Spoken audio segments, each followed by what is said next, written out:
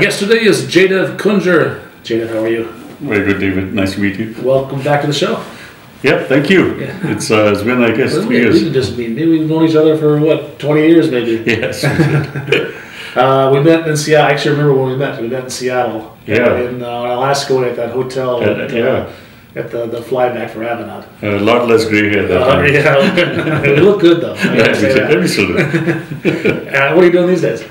So, uh, so I, you know, I'm, I'm still uh, working with Enkay Tech, and uh, we are a Microsoft Gold partner, um, primarily focused on applications development. Um, we do a lot of uh, custom software development uh, for our clients, uh, specifically in Azure development, Azure integration services, um, and we also now have applications that have a significant user interface component. Um, so we build a UI that uh, users can use in uh, um, web-based applications, mobile applications, uh, IoT, Internet of Things, uh, uh, for you know process control kind of applications, logistics applications. So we have kind of fanned out from our initial focus on you know BizTalk server, which we still have. Uh-huh. We've kind of spread out now into custom.NET and uh, Azure. Okay, yeah, that's a lot. And I, I've known you when you were a BizTalk guy, and you've always stayed with that integration thing. In fact, today you, you're hosting the Global Integration Bootcamp. Tell me about that. So this is an annual event. Uh, the, the Global Integration Bootcamp is something that we have on uh, on a Saturday uh, all around the world. So we are hosting the Chicago event. Uh, there are other uh, integration uh, MVPs, uh, uh, most valuable players that are hosting them in Europe, in Australia, in India. So um, uh, we all collaborate and uh, you know try to use this annual event to um, basically uh, let folks know what's happening in the Microsoft integration space, specifically around some of Microsoft's integration products, such as you know, the Microsoft Integration Service Engine, the uh, API management, Service Bus, Event Grid, uh, Logic Apps, Azure Functions. All of those kinds of things are technologies that are evolving, and we use this event to you know tell um, uh, attendees uh, you know what's happened since the last time we met and also do some demos, uh, do, do some hands-on labs so that at the end of the day, they feel that they've learned, you know, something and they also have a lot of code that they can take with them and implement in their, you know, in their problems. Great, it seems to be going well. I just we just left the room, and Yeah. somebody's giving a talk on durable functions right now. Azure durable functions, People exactly. are in rapt attention. Uh, and you gave a talk. Um, yours was more broad. You covered a bunch of topics. Tell me Correct. about what you spoke about. So I spoke about uh, API management, um, logic apps, service bus, and event grid. Lot. we talked about logic apps when we were on the show last time, a couple of years ago. Uh, let's let's dive into some other things. Yeah, so Logic Apps has evolved. Uh, it, it's now you know used uh, by us in at least uh, uh, you know a couple of scenarios, and uh, I'll, I'll just talk uh, about the business scenario that uh, uh, is is you know enabling is enabled with Logic Apps.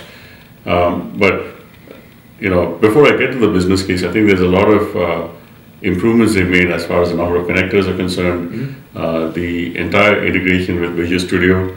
So as developers, uh, you know, our tool of choice is Visual Studio, um, and uh, with Logic Apps completely integrated with Visual Studio, it's easy for us to build and you know design, deploy, create templates, you know, test locally, deploy to Azure, all of that using Visual Studio, and that is a huge improvement, uh, you know, that uh, that they've made.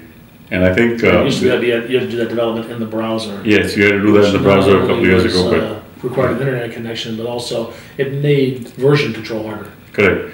You know, so so the entire uh, experience is a lot easier now. So that's why we've been able to adopt it a lot more easily, and allows us to solve a lot of uh, you know integration challenges, um, whether it's hosted on the cloud or hosted on premise. And and some of the newer things that were announced by the Microsoft team around probably several you know six months ago or nine months ago was the integration service engine, where you could run Logic apps on premise instead of running it in the cloud Ah, and that is going to be um, uh, another very valuable tool um, you know that will help some customers who want to use the same platform when they're building solutions in the cloud and, and also building solutions on-prem. You know, if you're using Logic Apps and API management in cloud-based scenarios, you, you know, you might want to use the same thing. Oh, interesting. You know, So on-prem. it's not Instead just- of BizTalk, right, you could use Yeah. that Oh, okay. Yeah. service yeah. engine. BizTalk is, is more complex and, and more expensive, I think, than Logic Apps.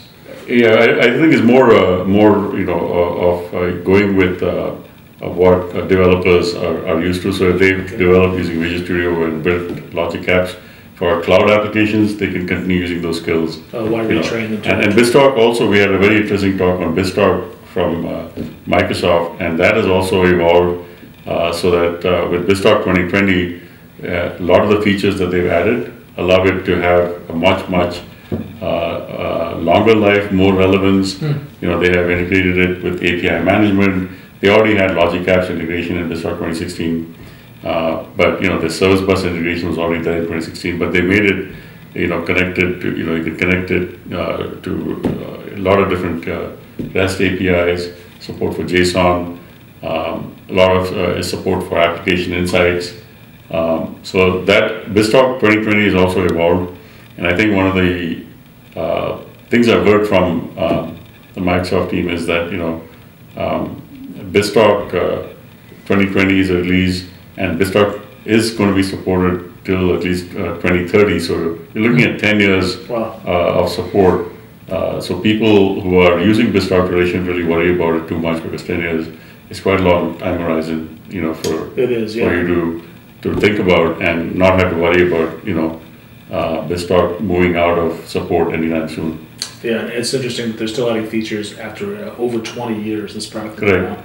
Correct, and the interesting thing that we heard is that, you know, it is still used in a lot of mission critical applications. Right. It is used uh, by the US government uh, in many different applications. I believe Microsoft also uses it inter- internally in the Treasury Department. So BizTalk is going to be, you know, something that um, still has a long life, in my opinion. Okay. But we've evolved into other applications. So if I could go into some, a couple of use I'd cases. love for you to that. Okay, so what, we were talking about Logic Apps. So one of the use cases that we've implemented um, is for a logistics company where they have a warehouse management system and uh, they have customers who are international customers that um, have a, a warehouse uh, run by another supplier in Chicago. So basically, the uh, uh, they have uh, you know their manufacturing facility out in uh, Europe, and they would like uh, the warehouse management system here in Chicago to deliver locally, you know, in the Midwest. So we have built Logic Apps that uses like the SFTP adapter or connector to connect to the international shippers um, FTP site, and we can pull, you know, the item master, which lists all the products that, uh, you know, they are going to be sending to the warehouse. So we have integrated the item master, the purchase order, sales orders with um, the warehouse management system, uh, CargoWise One warehouse management system, which is CargoWise is a product that a lot of logistics companies use to manage warehouses.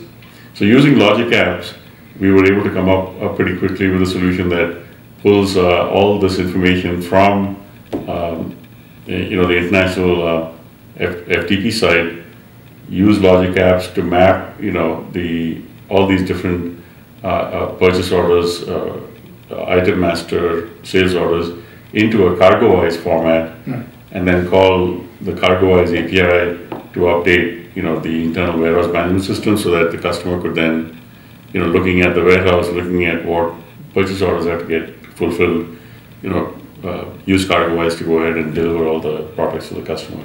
But the interesting thing is, we built the middleware tier using a cloud-based solution and a subscription-based model. So, you know, we didn't have to look at upfront installing, you know, some software or hardware on, on the premises. I mean, this, this customer uh, is basically not having to invest in any physical hardware Right. or memory or CPU or anything. Basically, we built an integration solution completely in Azure using Logic Apps. Uh, perfect. That's the sounds like an ideal case for the cloud. Right.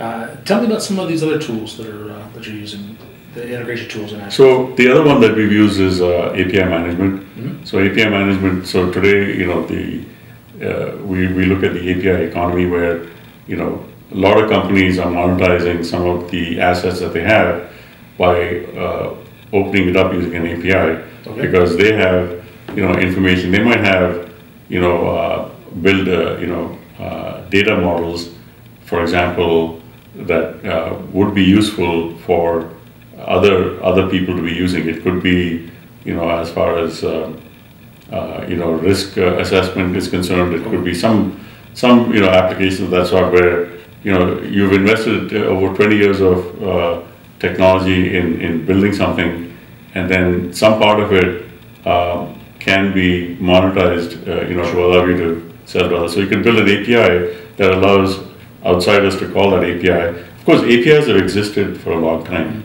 You know, we've all built APIs, you know, that allow you to uh, call that service from, from somewhere outside. Yeah. But the difference- Before the web, we had. Correct, exactly. So, but the difference between what we've used now with the API management is that, uh, you know, the API allows uh, your end users who are going to consume the API to, to test the API using whatever language they prefer to use, whether it's C Sharp or Node.js or Python. You know, they can, they can uh, test it very quickly because API management in Azure allows you to, you know, it generates a Swagger code and allows you to actually look at, you know, uh, calling the API in, in different formats. I don't have to write, okay, this is how you would call my API using C Sharp, or this is how you would call it. I don't have to do any of that. It kind of generates that What is a. Swagger file? Swagger is basically, you know, like in the old days, we used to call it WSDL, Web Services Definition Language. Right. So Swagger is now the, the, the way API management uses, you know, uh, it's the interface that defines the web service. Okay. So that's what, it, it, it generates a Swagger and allows you to actually look at it using different, um, you know, languages that you can interface with it. And then the other benefit that API management gives you is the security aspect of it. Okay. You can control, you know, uh, the front end security. They have, you know, uh, one way to you can call the API using like a SAS token, which uh, if if you don't have that token, then you you know anyone calling that API is going to get a failure. And then on the back end, you know, you can define other security models or then you know whatever Active Directory, Azure Active Directory. Uh, so you can define the security models in different ways on the front end and the back end. And then you can also throttle different kinds of requests that are coming in. You know, uh, you could, uh, you know, have a whole bunch of different policies that you can define on the API. So we built this API on the front end that allows um, a customer to basically do a, a file upload, file download, or a get file, which is basically a backup of a database. They could use the API uh, to, to, you know, uh, save a backup to OneDrive, and, and then they can also retrieve a particular file from OneDrive. And the only additional twist was that when they load a file up into OneDrive, they have several different parameters, uh, like they have the customer, they have the ship to, sold to, application information. So based on that, uh, the API, uh, you know, uh, was calling a logic app with these parameters, and then the logic app goes and connects with OneDrive using a OneDrive connector, and then it saves that file in a particular folder based on some of the metadata that has been passed in the call. And, and then when the customer does, you know, a, a get file from, let's say they're, they're sitting out in the field, uh, on the, you know, let's say it's, uh, they're on an IoT device and they want to, you know, retrieve a particular backup file. You you know, they can again call this API that we've given them, they can use the, the, the token, the SAS token inside the controller, and then they can actually retrieve that file and, you know, download it into the controller and boot up the controller. And then the other advantage is if they're logged into the, you know, to their uh, network using their workstation, because OneDrive maps to your local, you know, laptop drives, uh, it's very easily accessible to them because once someone has uploaded a backup to OneDrive, everyone who's connected to OneDrive, you know, for that particular uh, account, are able to, you know, access the backups that they need. They can copy it over to a USB if they wanted to. They can do all of that. But the API management was the front end part of it that allows us to do security. And then we had uh, an Azure App Service behind that calling a Logic App, and then the Logic App was calling, uh, you know, the OneDrive connector. Interesting. So all of that was what we demonstrated today also as part of our API management session. Yeah, and I remember one other technology you talked about was Event Grid. Correct. So Event Grid is another very useful technology. It allows you to do So in, in, you know, the BizTalk world, we always talk about BizTalk as a publish subscribe model, where you have a bunch of publishers would, you know, uh, write to a particular, uh, uh, in our case, in, in the BizTalk world, write to, to the database, then you had a Yes, of bus. subscribers. Right, it was a bus. So the event grid is also a pub sub where you could have, um, you know, many people, um, you know, sending data into the event grid, and then the event grid has subscribers who, who are requesting certain events to be notified when certain events occur. And the other big advantage of event grid is, you know, a lot of, lot of us have written code where we are polling a particular database to say, hey, you know, uh, tell me if something changed, you know. Uh, every, every minute I'm gonna poll to get some information. Whereas event grid is based on an eventing model where when something happens, the event grid gets the event and then it can route it, you know, uh, to a logic app or it can route it to another API call.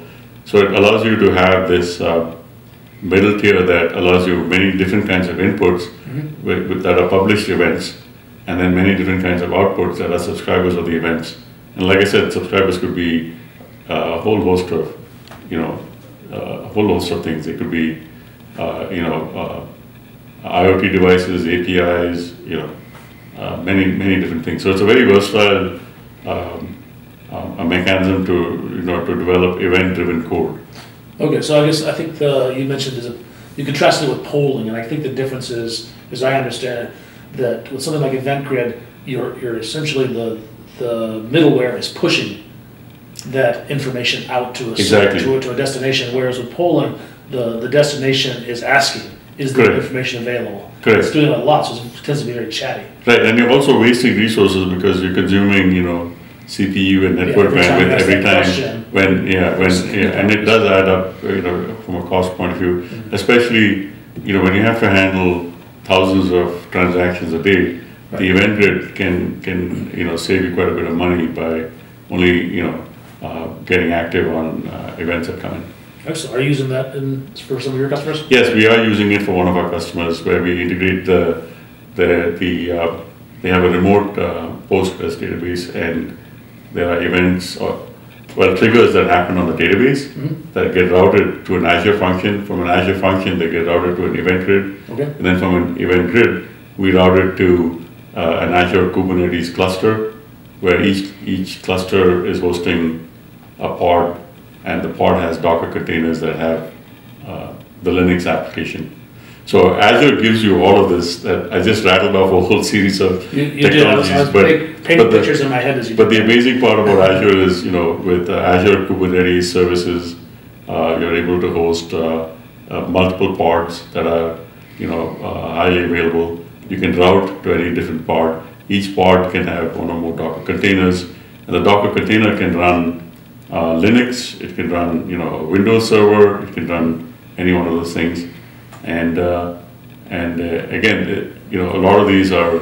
You could look at, uh, you know, the container as something like a virtual machine, Right, um, but it's much more efficient than a virtual machine. The whole container technology is much more efficient than than a virtual machine. So there's an amazing amount of technology available in Azure that allows us to build some pretty unique solutions that we couldn't do before. yeah, I think a container is basically a small slice Correct. virtual machine. Correct, So it exactly. starts up more quickly, it consumes less resources, and it's uh, isolates from the rest of the virtual machine. Exactly, exactly. Yeah. Uh, this is cool. So I, had, I, I think back to my early days of learning software development, and I was trying to uh, modularize my code. You know, so it was it's easier to maintain.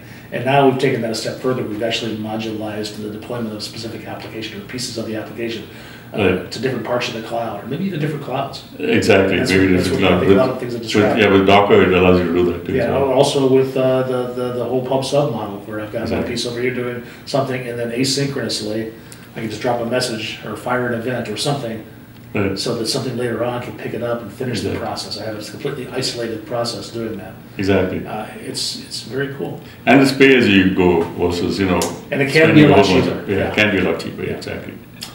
Uh, is there anything that uh, you want to talk about that we haven't yet? No, I think, uh, you know, I appreciate uh, you giving me the opportunity to talk about uh, some of the things I'm passionate about. Yeah. And, uh, you know, look forward to having you come and speak at our future events. And, you know, this event was successful because of Microsoft's participation. You know, you and uh, Ashish Talati and Sanjeev Garg from Microsoft all helped us put this event together, and really appreciate you spending a Saturday with us. Oh, thanks for inviting me. I used to do a lot more speaking. I don't do that much anymore, so it's a treat for me to come back here. Very good. Jaidev, thank you. Thank you, David. Appreciate it. Cut.